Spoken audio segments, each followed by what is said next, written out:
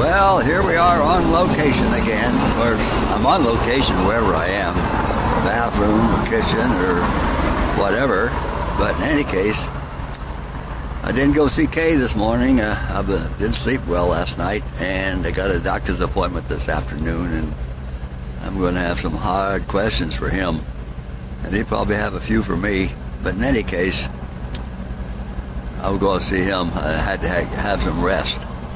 So, uh, but this area here where the Cascade is, you'll notice this was originally a hotel uh, built in about 1952, the year that I uh, bought my house in Lake Forest Park.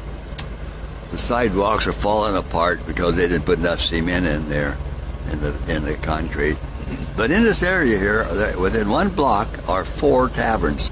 Across the street, up at the end of the block, two taverns there and one uh, of the other corner. But you can get there in one block from going out on the alley side. The reason is, looks like uh, the one tavern there was a theater.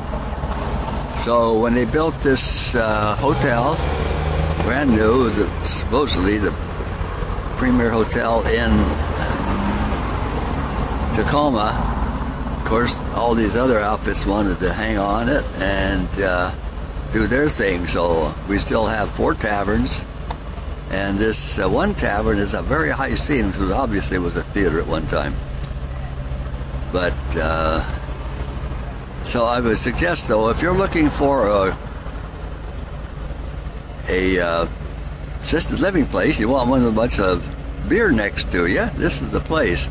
This is a premier place, but if you're looking for assisted living, put on the bottom of your list these big, huge corporations with headquarters back east somewhere with hundreds of uh, assisted living places.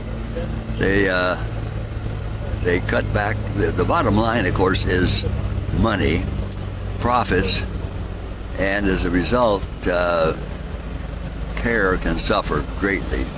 There's been some real scandals regarding uh, these corporations.